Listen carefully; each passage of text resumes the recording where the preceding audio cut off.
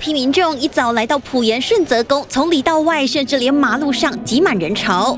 你这摆人你冇给排水，排队人龙绕了一圈又一圈，庙方特地拉起绳子，人车分流，就怕影响交通。时间一到，准时发放冠军帽。几点来的？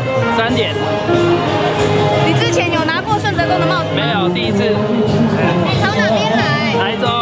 就怕拿不到，有人半夜就来卡位，顺利拿到第一顶帽子。不同于过往，这一次的冠军帽不用登记，排队就能拿得到。